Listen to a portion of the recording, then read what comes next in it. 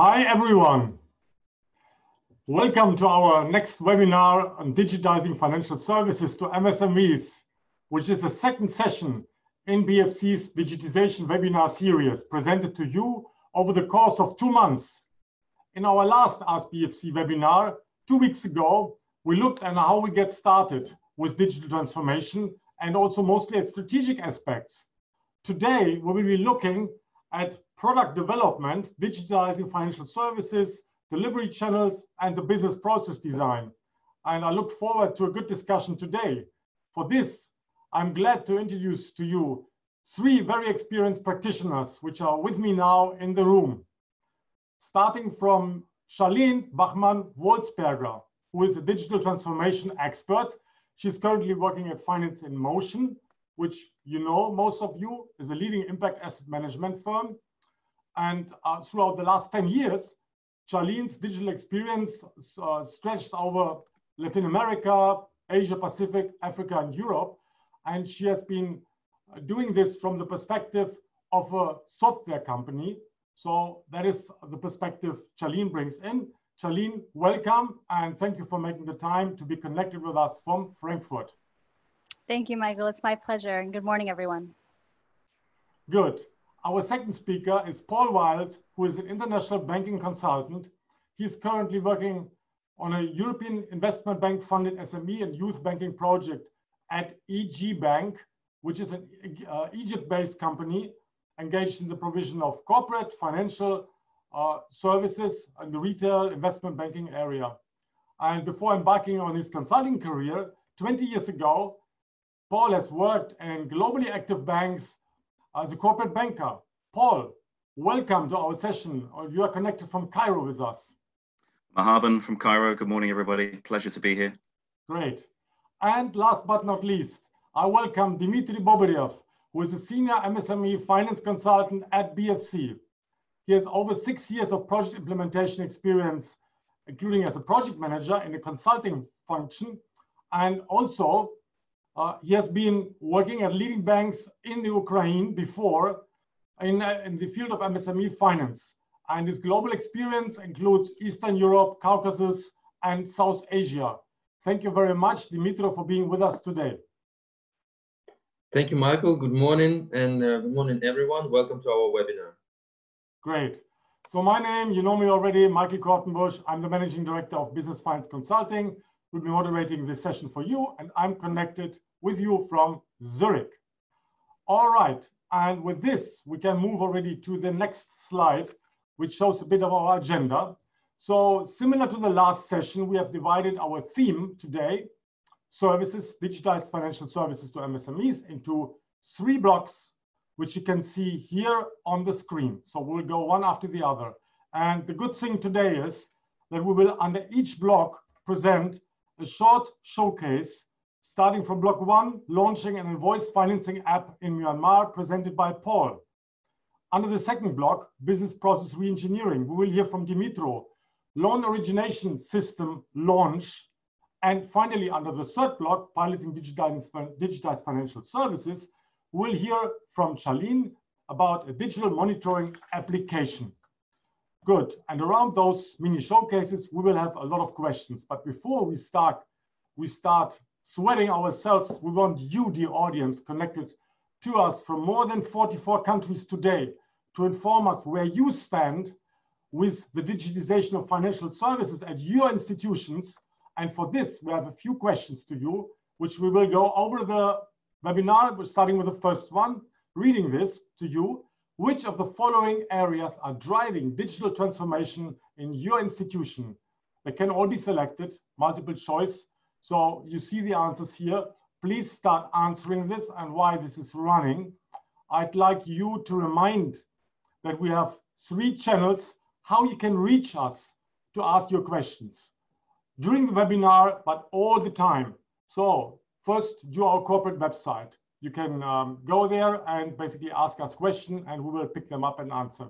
Second, you can write us an email directly and uh, the details of the website, the emails, the support team now will post in the comment section at the bottom of your Zoom screen.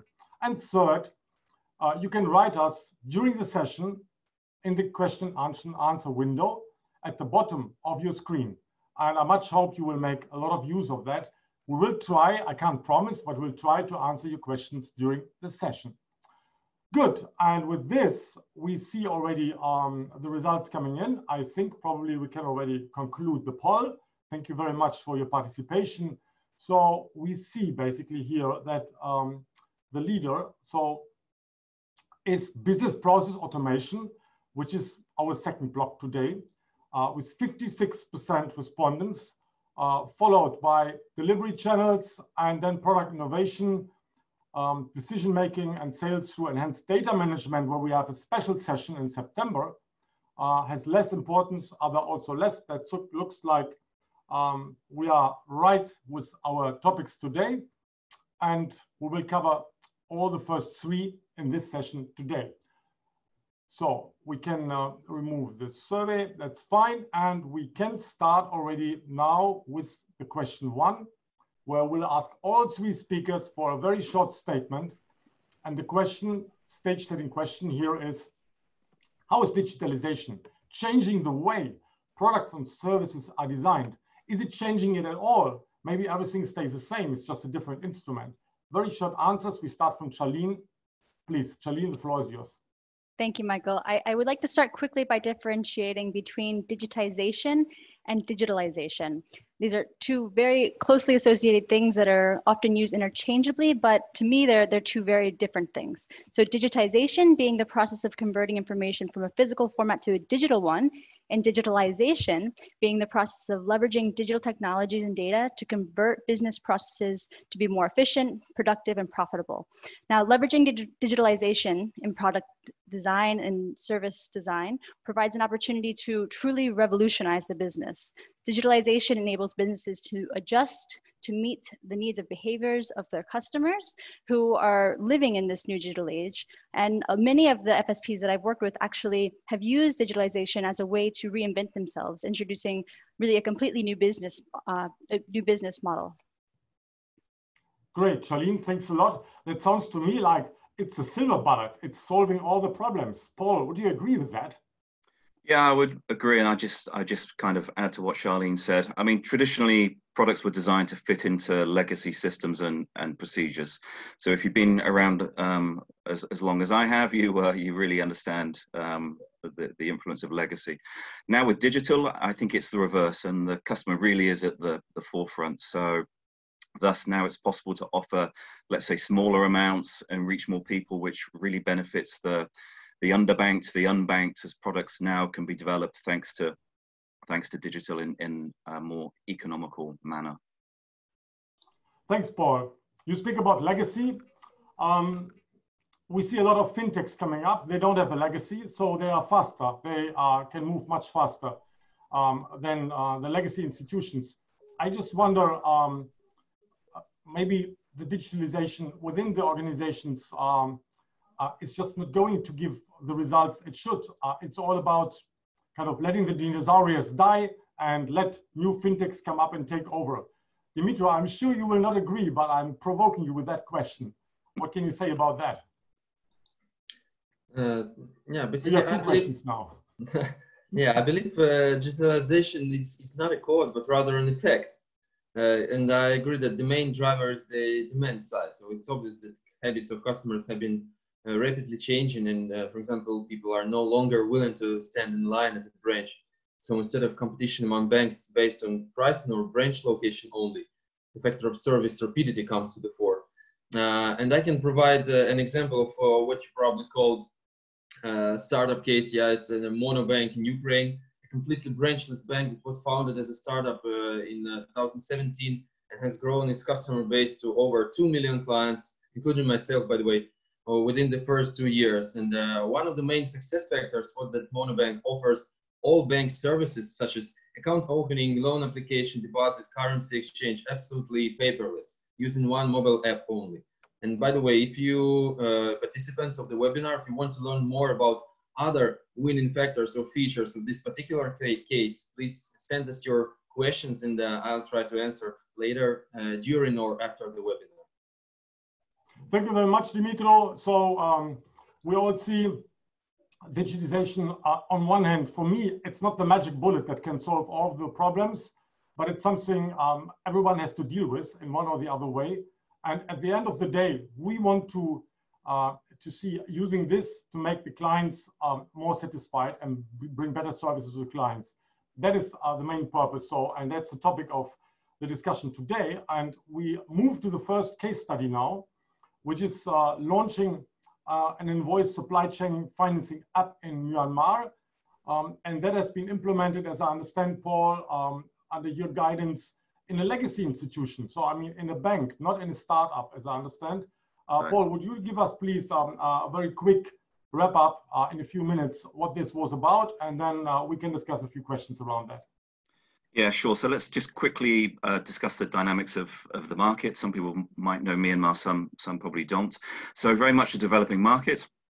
Uh, most lending, if not all, was, was being uh, done secured by, by real estate. And that was due to informality, um, poor financial information availability, uh, low financial literacy, weak contract law, um, et cetera, et. So all similar kind of things that we see in, in developing markets. In turn, businesses would quickly hit a glass ceiling due to these collateral constraints. After all, there's only so much real estate that um, a business owner can can uh, can have. So really, we wanted to find a safe way with all those constraints that I just mentioned to start doing unsecured lending and and and do it faster. So we partnered with large um, FMCG, so fast moving consumer goods suppliers, who gave very tight credit and short credit terms to their suppliers. Um, FMCGs wanted to sell more, and of course, the suppliers wanted to buy more, but pay later when typically they had converted these products into cash. Um, we started, uh, therefore, by financing uh, the payable side of, of the, the balance sheet. So the product design solved these larger issues that, that I've just described. And I would say that this is a great example of legacy being improved through the use of, of digital. And, and why was that? Well, we were able to completely centralize our approach to manage the receipt and confirmation of invoices from, from the client.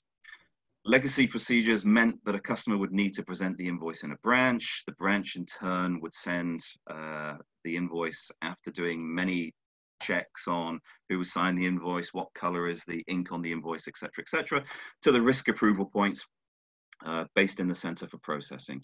And a couple of days later, the client, the, later the client um, would receive the, the money. So this had an entire layer of bureaucracy and, and also delay. So the app or the digital element helped us remove um, all of this, allowing for direct submission of the invoice um, directly to the, to the processing team. More importantly, we had potential customers um, in areas where we didn't have branches. Uh, so meaning that the branch option was, was simply not a, not a possibility. And also using digital, it allowed for mass or, or scale in a short period of time compared to the traditional route uh, to new business through branch and, and loan officer. So this all, all sounds very nice, but I, I think the most important thing here is, is the approach that we, that we took.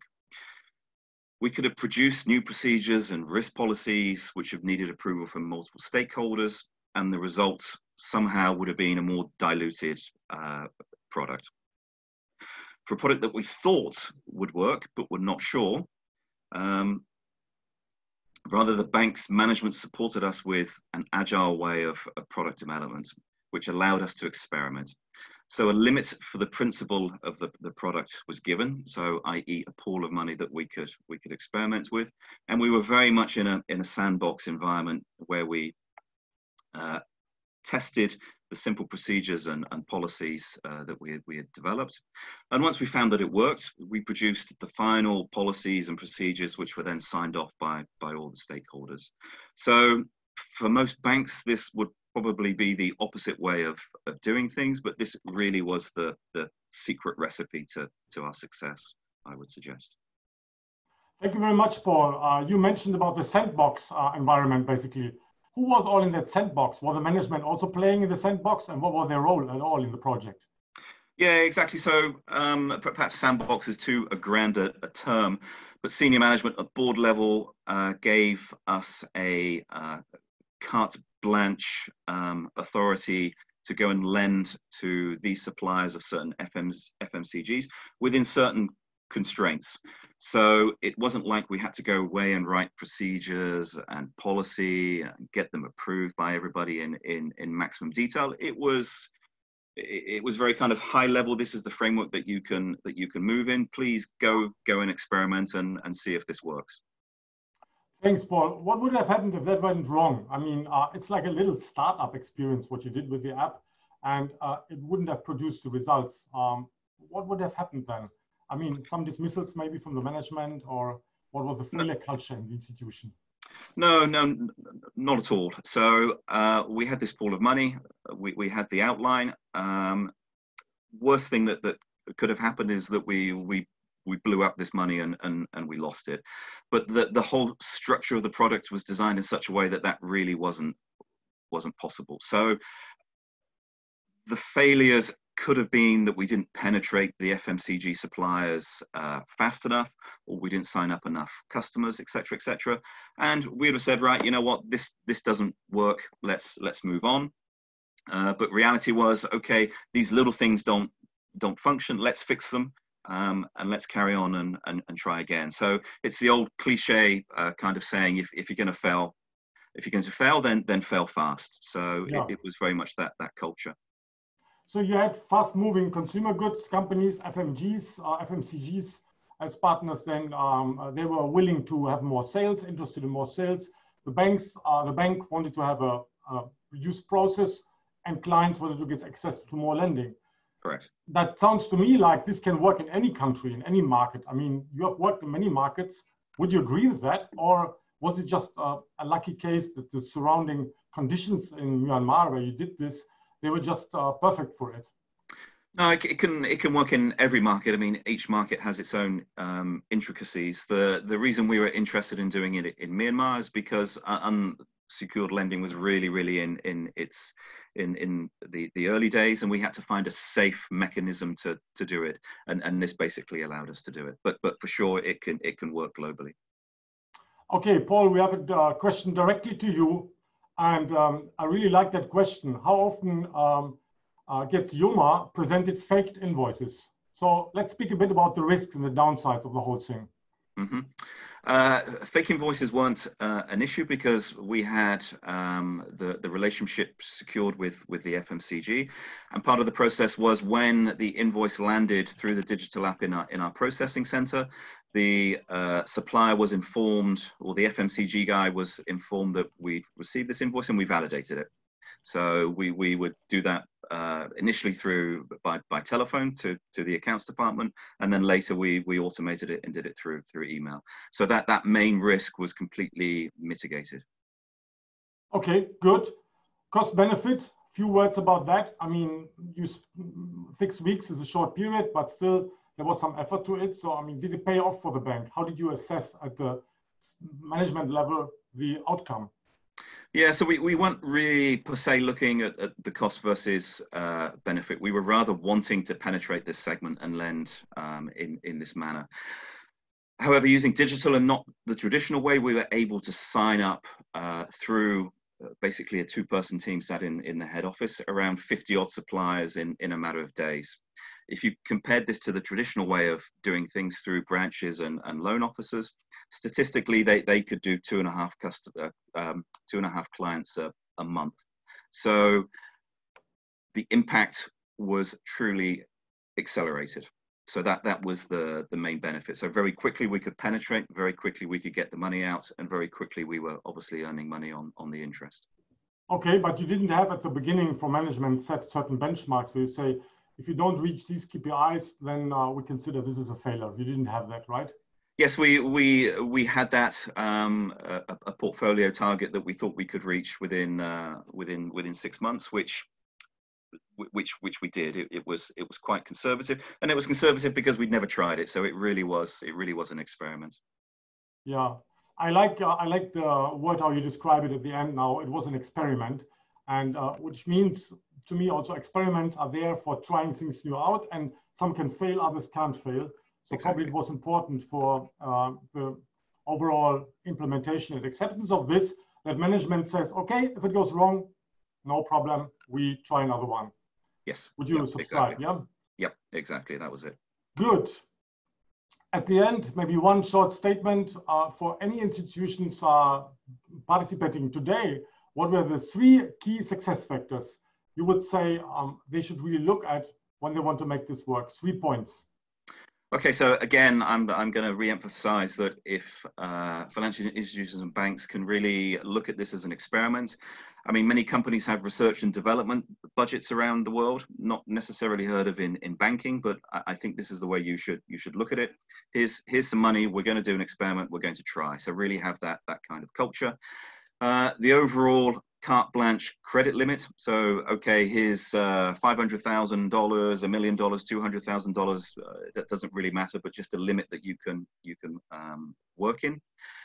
And be very cognizant that the first launch, i.e., let's say the, the, the, minimum viable product that, that you're, you're launching, is not going to be the final version.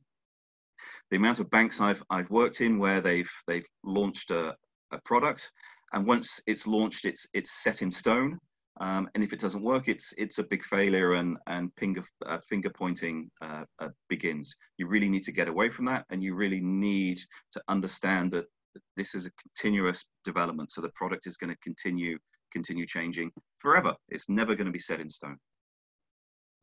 That that makes sense. Um, we wanted to move on, but uh, quickly we take up two more questions. So one from Moldova. Is it safe to use the app, safety of the app? Yeah, I mean, we, we had lots of discussions around the, the security, et cetera, et cetera. The, in simplistic terms, the app was a post box. It allowed an invoice to be remotely sent to us. So sure, somebody could get hold of the phone, they could make an invoice, they could they could upload it. But at the back end, we had operational uh, controls. So this is where legacy really shouldn't be completely ignored, where we were validating what what we were what we were getting. So somebody couldn't just upload a, a bogus invoice and and us disperse. In the worst case, if we did, we were dispersing directly to the FMCG guy. So it wasn't like um, the, the supplier could take the money and go to the casino. It, it was all um, under control. Thanks. Um, and uh, I, I, allow myself two more quickly. I think one answered you already. How much time it took to test and to launch this application? I think, Paul, you said six weeks. Is that right? Yes. Yep.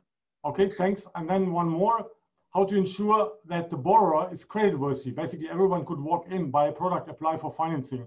So you had to do this whole thing um, online. So very quickly, Okay, so uh, because we partnered with FMCGs, we had access to their supplier database.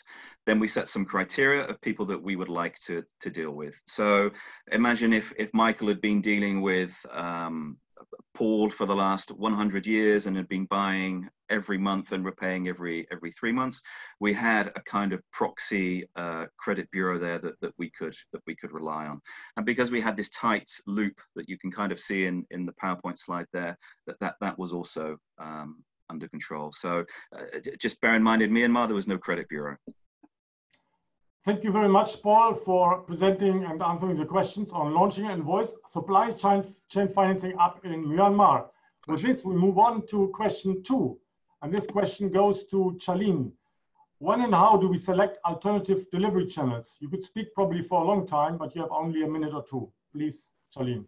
Uh, I probably can do it even quicker. So when I would say only after defining the business objectives, conduct, conducting a market assessment, so the customer needs, operating environment, also the internal capacities assessment, and these would be key inputs to developing a, a channel strategy and a business case, proving out you know what exactly you're trying to achieve with this um, alternative delivery channel concept and then the delivery channel itself will really be determined by who the user is, what the use cases and operations perform would be, and of course, other factors that exist in the market. Um, to, to, keep it short and simple, a good resource that I would recommend, which I see has already been shared in chat earlier, would be the Alternative Delivery Channel and Technology Handbook that was published by IFC. This is a guide um, for FSPs that are embarking on their delivery channel or digitalization projects, and it helps them through the ADC selection implementation process. Great, Charlene. Thanks a lot. Uh, you can find all the information about uh, sources we mentioned, like the handbook, in the chat. Uh, thanks a lot. And with this, we come to an end of the first block. And for me, what stuck in my head basically was that um, the, the case Paul presented, I think a key factor was that they had a sandbox, a separate environment where they could experiment within the legacy institution with a lean way of going on with approvals um, on a general level, but then trying it out. And I think that is very similar to how a startup works. Good. So I think we answered all the questions we got on this section one. There are some other questions we will pick up later. And with this, with no further delay, we move on to block two. And the block two is starting with another poll question to you, my dear audience. What are the challenges you experience in attempts to redesign your legacy business process? So the challenges you experience when you redesign your legacy business process, you can select all of them you want. And with uh, while you will answering this, we can, uh, I would like to remind you also about the way how you can ask us questions. That's working very well this time. So the Q&A window, please ask your questions while this is being answered.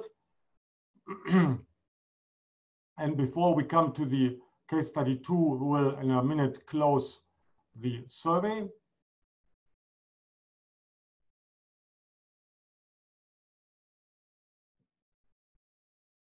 But we can answer a question. So let's pull up the question. What are the key success factors for the redesign of legacy business processes? Very short to each of you. Paul, if you can uh, take the start, please. I would say this can be summed up in in one way: um, an understanding of why the legacy process existed in the in the first place. What was the, the legacy process actually solving, and and why? And is it still relevant in in 2020? Okay, thanks. That was short and punchy. Charlene. Yeah, I mean, very much um, agree with with Paul in the sense that you shouldn't be afraid to, to challenge the status quo, right? I've seen many instances where FSPs try to replicate their legacy processes, essentially creating digital forms from what their previous processes were. And sometimes it actually really negates any potential aside from that initial wow factor of using a smartphone or a tablet to originate a loan. So the redesign should review legacy processes, of course, determine what's actually required um, and how the data could be captured more efficiently, what the customer experience and user experience would be, and, and really identify what can be automated and streamlined in terms of operations. One focus that I want to highlight is in, it, it is an opportunity to improve the quality and usability of the data that's going to support the business to make more informed decisions. So I would also highlight that as a, a key uh, success factor to, that, that would contribute to this success. Thanks, Charlene. But is it really possible to uh, have the same people who designed the processes redesign them? So something is wrong with the processes, and they are now redesigning them in a radical way to make them completely new. How is that possible? I would like to ask Dimitro that question um, to Im implement this answer. Dimitro? Uh, yeah uh, basically uh, yeah it's it's a, it's a matter of uh, mindset uh, you can say so uh, basically uh, rather than searching for Uh, digitalization only uh, probably the the management or those uh, project managers that are who are assigned to lead the digitalization pro projects yeah should more think and even educate themselves on general change management I mean, the, the culture of, uh, of uh, change, yeah. And uh, generally, I would also capitalize on what has been said by Paul and Charlene. So not to overestimate the value of software, because yeah, banks and MFI sometimes consider software to be a silver bullet for process efficiency and focus efforts on selection of, of, software, for example. But after a while, they, they get dissatisfied with the effect because process design, I mean, the order of steps, roles, rules, etc., remains uh, mostly unchanged and the uh, high potential remains really un unlocked. So I recommend to begin with identification of what can be improved in the process without or before uh, software. Thank you, Dimitro. So it sounds all like jumping into the water is not the right thing um, with the digital transformation, though that's exactly what we have seen um, at Yoma Bank. So I think still some uh, some different perspectives on the same thing, but uh, very interesting now we end the polling uh, and we share the results with you. So um, look at this here, and I would like to ask Paul to uh, make a quick comment on that after I make mine here. So the, the second and the third, lack of understanding of purpose, approach and tools, and lack of capital, capable staff members.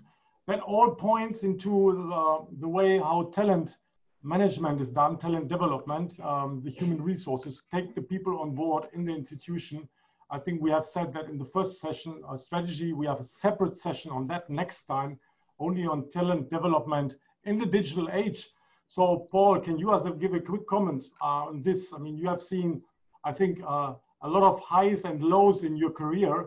I mean, does it sound reasonable to you or are you anyhow surprised by the results?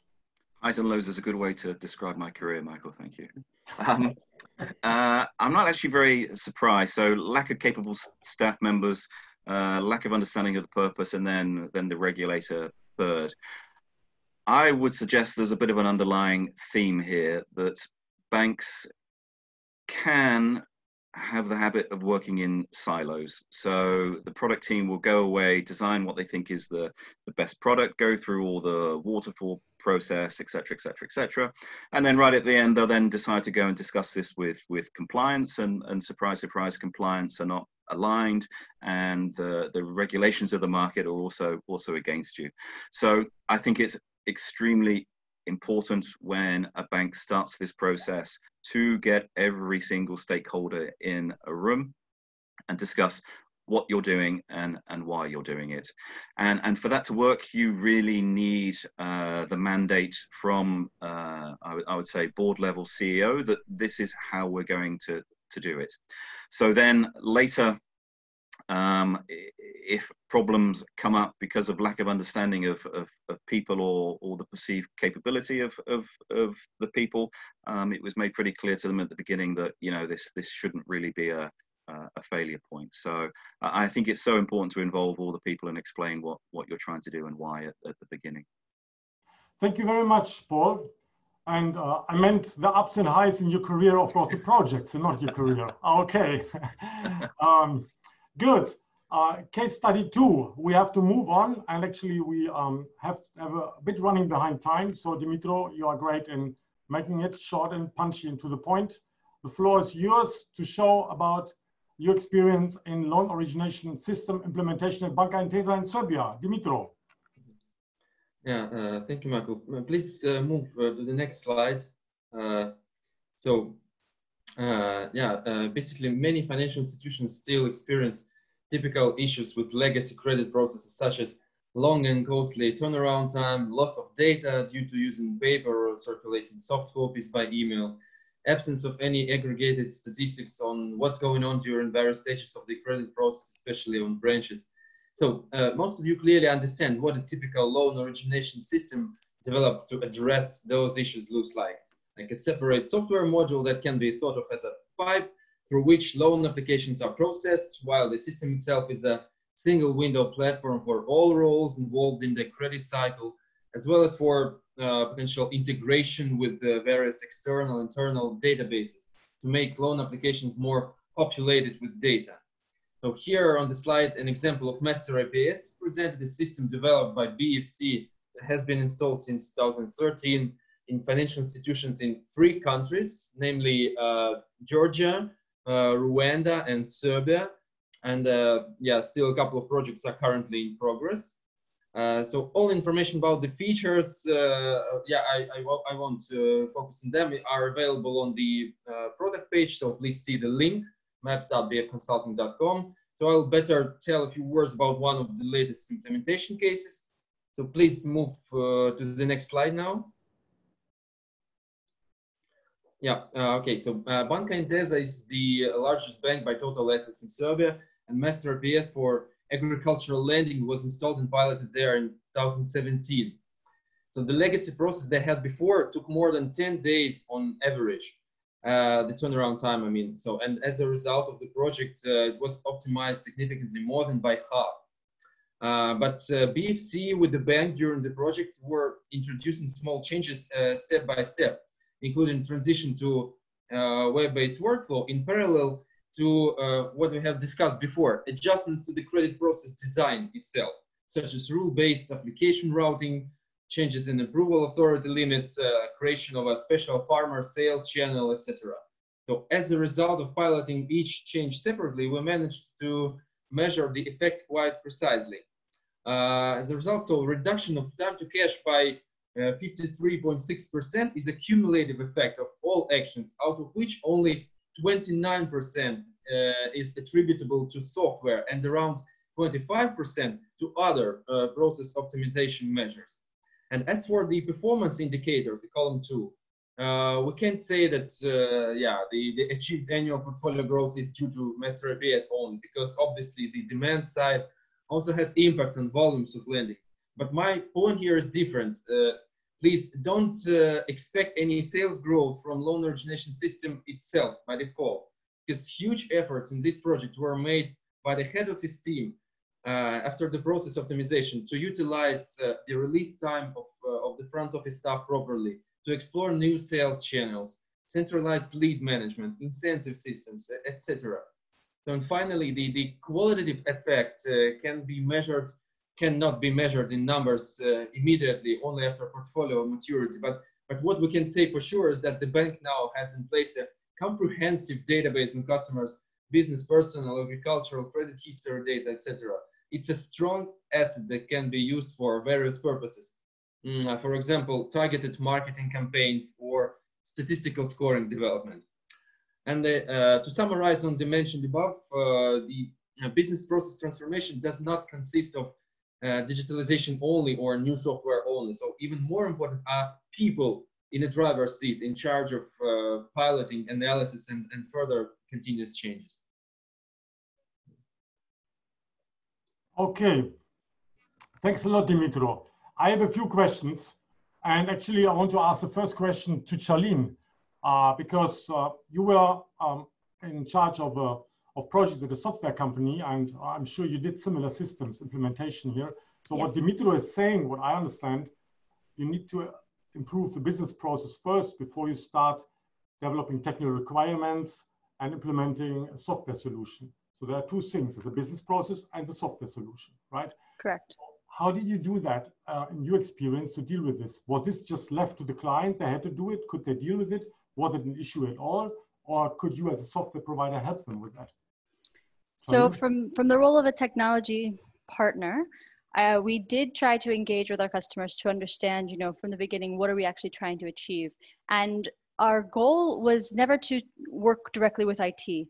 When we engage with a customer from a software perspective, you want to engage with the business team. The business team is going to understand their business ins and out. They need, they understand the users, they understand the customer, and they're going to be really be able to define the scope of what they're trying to achieve.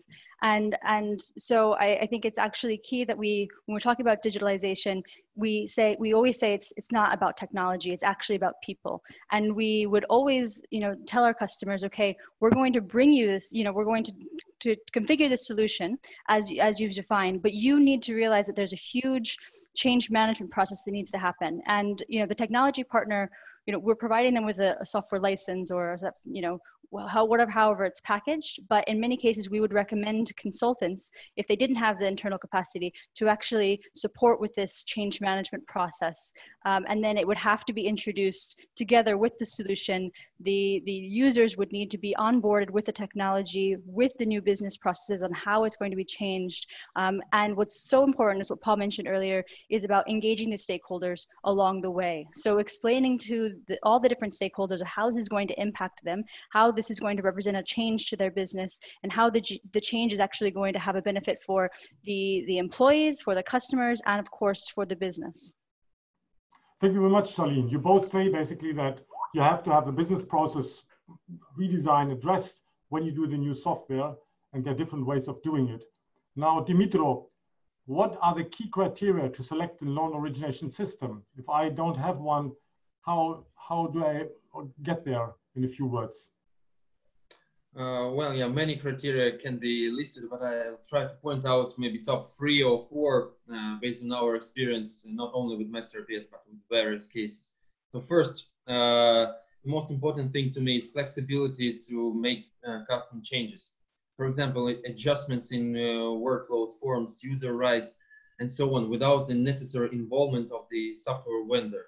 In other words, uh, when uh, like as much as possible can be customized quickly on the bank's admin level. Uh, it's especially important during crisis times, yeah, when uh, products, processes, uh, or demand side uh, is, is, is, changing very rapidly. So second is a pricing model.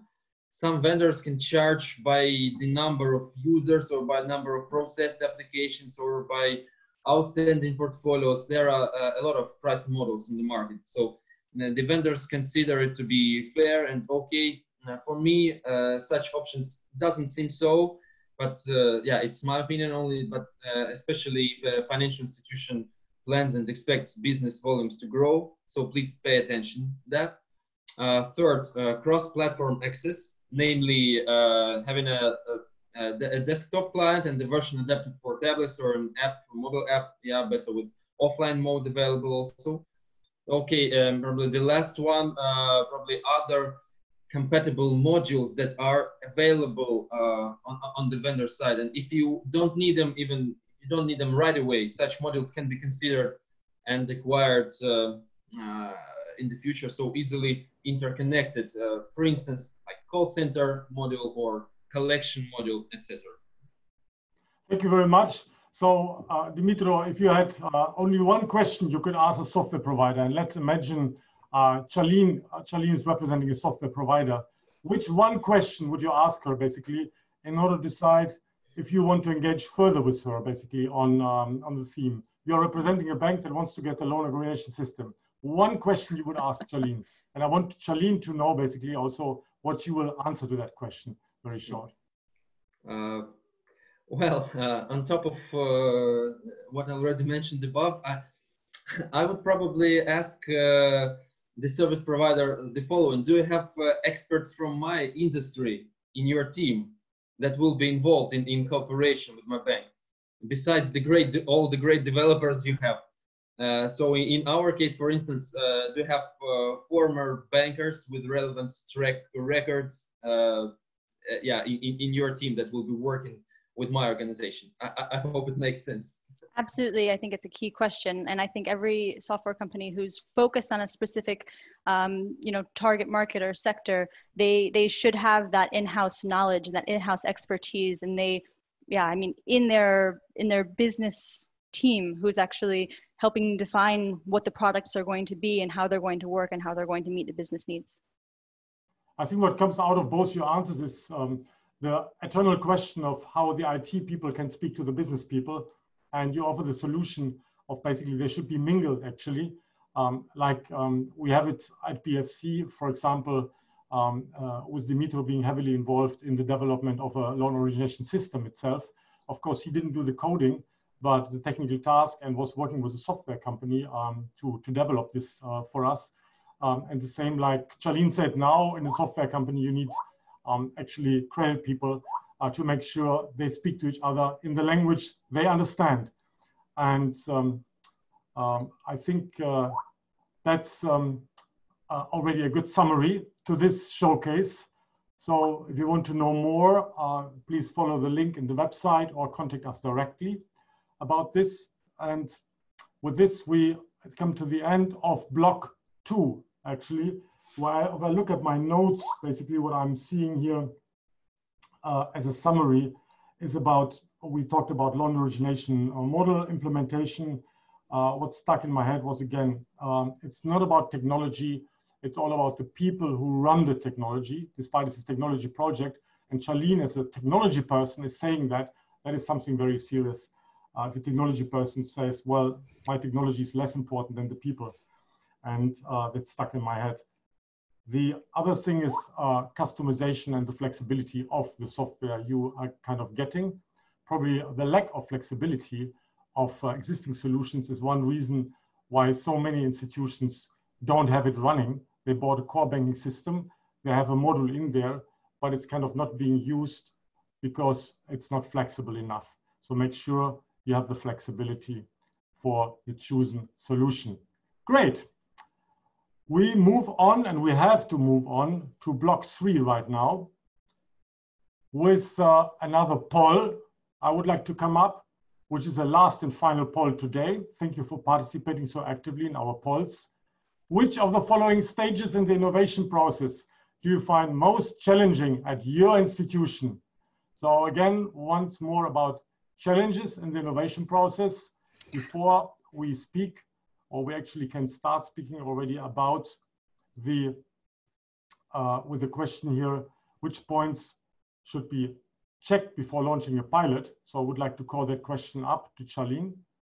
Uh, and Charlene, if you can take that question for while yep. the poll is being completed. Charlene, I was watching the poll. I was very interested in the results. Um, right, so generally the checkpoints before launching a, a, a, pilot i would say even before planning the pilot there needs to be a success criteria. What what exactly um, do we consider a, a, pilot when do we consider a pilot to be successful? What are the kpis as you asked asked paul earlier about the case in myanmar what exactly were they were they deeming successful um, for for this initial launch of of, of the solution and so or the, or the product rather.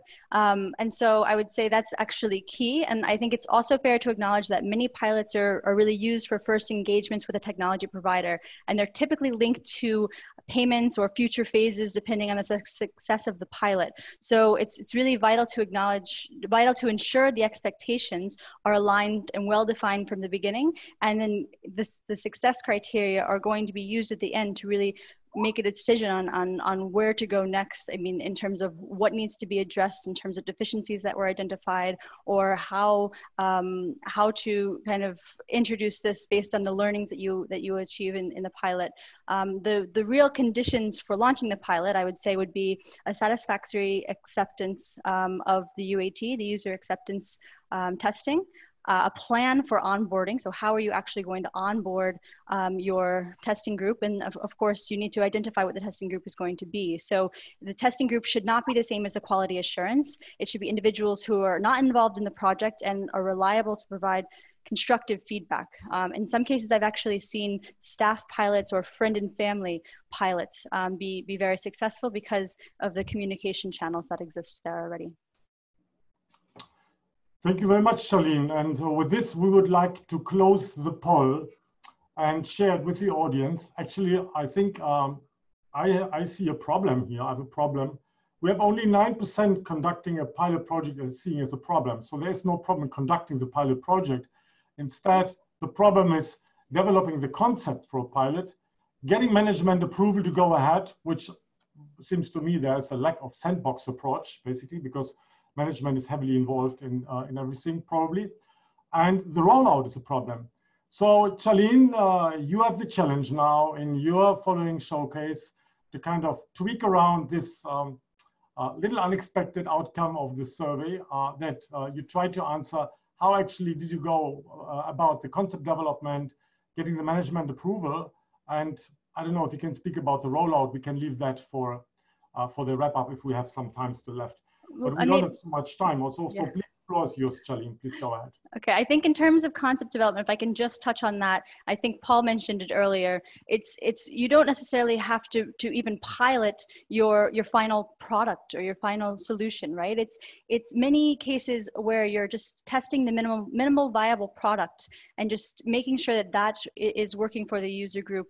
Um, that can even be a confirmation that um, you know the absolute core features of the solution are working, and then you can always develop and build on that. So I think sometimes the, you know, the you may get challenges along the way, and even actually the the, the post pilot um, pilot rollout um, would, you know, it, it would you may have challenges if you're trying to do something that's too big and too complex like you know a big bang project as opposed to introducing something that is is quite simple and then adding complexities and more functionalities on based on the the customer use and feedback. So i, I would start there um, and then um, maybe we can go start the case study in the interest of time. All right. Let's move on with the case study. Thanks. Then we will have further questions on that. Sure.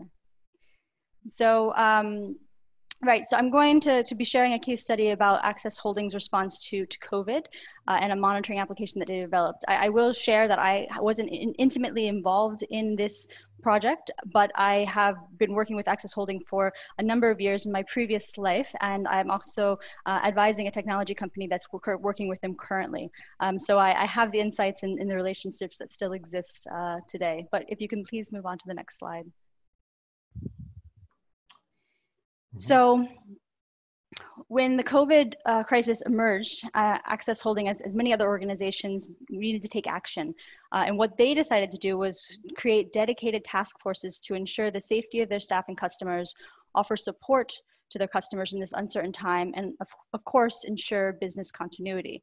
It was quite timely that uh, their, one of their existing uh, technology partners, Juakali, approached them with a COVID response solution that would allow them to engage with customers in a safe and effective and supportive manner, uh, and that could be launched quite quickly with a limited commitment. And so um, when, when they already had the trusted relationship with Juakali and they already saw that there was a, a, a real need to to be able to understand what uh, the status of their customers were. They decided to launch the project in, in May of 2020.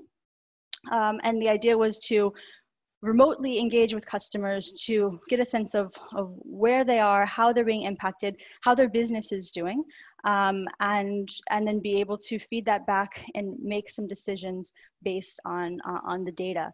Uh, and I, am really excited to share that the first implementation for the first country in, in um, and, and Zambia actually went, or sorry, and Liberia went live in nine days, um, which I think is really impressive. And I'll, I'll explain how this works in the next slide. Good. Now, okay, so the solution works essentially by um, first, the back office staff is loading customer data into the app that each loan officer can access with their smartphones, such as client name, phone, business sector location, and of course, installment details. And then Access Holding added some additional questions related to the business of the customer. Is the business open, impact on sales, the OPEX, whether they're at normal levels. And the client would have an opportunity to accept a grace period or to continue to service their loans. And in addition to these business question, questions, Access Holding used the opportunity to engage with their client around their health status, their family's health status, inform them about some basic hygiene, especially given in those markets that they were working, there, there may have been some different, different information being shared and they wanted to make sure that they understood some of the basic hygiene rules uh, that was being shared um, at a global level. And then, of course, using opportunities to inquire about their preferences in terms of digital channels, in terms of how they would like to be able to engage with the bank going forward, because we don't know how long this crisis is going to last. Um, the data that they received from this process of, of calling each of the, the customers and capturing that information, it was then assessed in a judgmental scoring model. And depending on the outcome, different predefined decisions were made or automated or manual actions were taken based on these business rules. And um, then the data is, is, is really used to guide the bank in terms of, okay, how, how are we going to perform during this time? They can, you know, share that information with their stakeholders, with their investors to let them know what the, the status of their own um, assets will be in, in the, the near term. Um, the solution continues to run actually in Liberia and Zambia, and it's the tool's reaching 60% of their customers in Liberia and 80% of their customers in Zambia and um, I actually had a, a, chance to follow up with some of my some of the the team from Access Holding this week, and they shared that 40% of the customers in Zambia have chosen to reschedule their loan, and in, in Liberia, 60% of the customers who are engaged decided to reschedule their loans, and 97% of those are being repaid. Um, and then, of course, with the additional information that they, they've received, they have more visibility on the customers' businesses. So um, some additional information they share was 60%, 66% of the, the customers that they have are still, have still been operating throughout the crisis in Liberia. And 68% of that, uh, of those were actually experiencing uh, at least half of their sales had been lost uh, or, or, you know, have, have, yeah, they, they have a reduction in 50% of their sales due to the crisis. Um, so that gives them better understanding of exactly the impact on their customers and their portfolio. Another quite interesting benefit that I, that I learned um, was that Access Holding feels that the solution is enabling them to really build the capacity of their their teams in the field for using digital solutions because before this actually Liberia and Zambia didn't have a, a solution being used in the field like a digital field application. And so this is giving their giving their team that kind of first experience using digital technology um, and how it's connected with the with information in the in the system in the core system and how they're able to uh, contribute to that. And and decisions are being able to be made and in real time as they're getting the information. So I, I think think that's it's quite important because you, they have a digitalization strategy and the idea is that they are going to be able to grow the scope of operations using digital tools um, quicker because the capacity of their team is actually um, increasing during this time. Uh, and then um, just to kind of give a little bit more, if you move to the next slide, a little bit more details on Juakali. They are a cloud platform that generates mobile apps. Um, and they are a startup that just started in 2019. Uh, and most of the mobile apps are actually supporting different use cases like loan application, customer onboarding, collection of savings and payments, customer engagement, and agency banking. Um, I think this case study is a really good example of, of the successful collaboration to adjust quickly to operations, despite the fact that they didn't actually need, or they, they didn't even have the time to, to perform a pilot uh, before bringing it to market. Thank you very much, Charlene. Uh, that was, uh, I think, a great case showing that uh, it is possible to do things, good things fast. And apparently uh, you didn't have any issues with the concept uh, uh, development or the management approval as it was indicated by, by some of the audience being an issue. So I think you had full support from the top level for this when it was launched correct? Right. Yeah. The task force that was established, I mean, it was it was clearly a priority for the management team because the task force was established for business continuity and they needed to find a solution to be able to engage with their customers. So there was absolutely there was no challenge in getting management buy-in. They they also found this as a priority. And uh, in terms of the concept development, the key was keep it simple right? I mean what exactly are we trying to achieve? And and then make it as simple as possible. And you can always you know access holding even said that after the first few campaigns the first few weeks of campaigns they started to adjust you know what questions were being asked based on the feedback that they were getting. So um, nothing is set in stone. And, and from the beginning it just needs to meet the minimum objectives. Nothing is set in stone. I like that uh, wording basically for uh, for for this way we allow two quick answers on two questions, and the others we will answer online after the webinar because we are running out of time. So, Charlene, what percentage of the customers in Liberia and Zambia had smartphones to be able to use the app? Can you answer that? So the customers didn't use the app the loan officers use the app and the loan officers so all the loan officers then had smartphones and if they didn't they were they were of course provided with them. But I, I, believe all the loan officers had smartphones and they were calling actually all the customers. So they they would call and then they would get the information and then the way that any risk there was mitigated is then their manager would actually make the same call um, in some cases to confirm some of the information so it didn't require customers to have a smartphone. And, and in those markets, uh, it's not that the penetration of smartphones isn't extremely high. Great. One more question, quick answer to a complicated question. Please, can you please elaborate as to the boundary of individual judgment and KI-based judgment in the solution? So the boundary between individual judgment and the KI. Uh, uh, artificial intelligence. I understand it. Um, Whoever asked that question, I would encourage them to either reach out to Juakali or, or Access Holding. I mean, each each uh, judgmental scoring model is going to be different, and it's going to be customized, of course, by the uh, business and by their, you know, exactly scoring um, needs. So I would encourage uh, whoever asked that question to to reach out to either the team at Access Holding, and I'm happy to facilitate that if you want to reach out to me. Super, excellent. So Charlene, thanks a lot for the third showcase. So uh, dear audience, uh, dear co-speakers, we have to wrap it up. Uh, we learned in the first block from Paul that uh, understanding and addressing the, the key pain points of all stakeholders in the process uh, where um, external and internal stakeholders are there, the clients, the fast-moving consumer companies, that is key to success. Everybody has to have a gain from that. Dimitro stressed that optimization of business process and software implementation starts and ends with the people, and you have to be flexible. And now, Charlene, uh, you said also that um, uh, speed is important, in particular in uh, the response to COVID-19, where you presented your app solution here.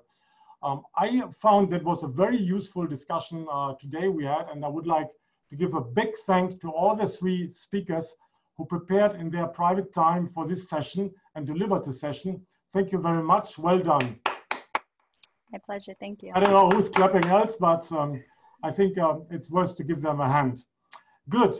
And with this, I also would like to thank our global audience for being with us again to joining us for the second session. And uh, a very big thank you to our BFC webinar support team who has been working for the last two weeks to make this happen.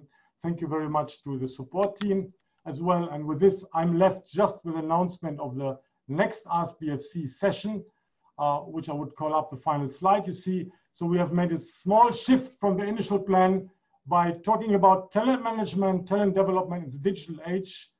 27th of August, exactly in two weeks from now, 10 a.m. Please join us again join BFC, ask BFC webinar sessions, send us your questions in advance or during the session. I'm very glad we got so many questions. Those who couldn't answer, we have your names. We will answer them directly to you. With this, I wish you a good rest of the productive week, or if you're on vacation, have a great vacation. And don't get worried too much about the digital transformation of your business. It's not a magic thing. You can do it. Good luck. Bye bye, and see you next time. Bye. Thank you. Bye.